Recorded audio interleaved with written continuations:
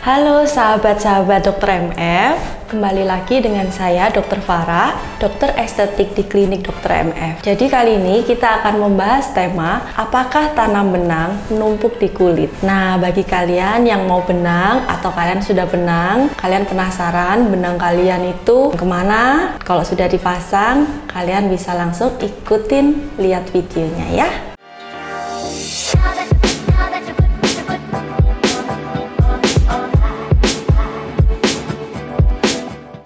Nah, jadi bagi kalian yang penasaran, benang itu kalau sudah dipasang, udah di treatment, dipasang di pipi ataupun di hidung atau di mana pun itu, ke mana sih mereka? Nah, benang itu akan diserap oleh tubuh dan benangnya itu akan jadi kolagen. Jadi dia akan merangsang kolagen yang baru, jadi kulit itu akan menjadi lebih naik, lebih kencang, dan pastinya lebih awet muda. Benang sendiri ada beberapa macam. Contohnya, kalau kalian penasaran, benangnya itu berapa lama ya diserapnya oleh tubuh. Nah, tergantung benangnya. Jadi, ada benang Korea dan benang Eropa. Orang-orang mengertinya seperti itu ya, tapi jenisnya pun juga berbeda. Benang Korea itu tipe PDO. Jadi, dia biasanya berwarna biru ya. Itu akan diserap oleh tubuh biasanya 8 sampai 12 bulan. Nah, kalau misalnya yang benang Eropa itu tipenya PCL itu diserap oleh tubuh biasanya bisa sampai 2 tahun tahun. Dari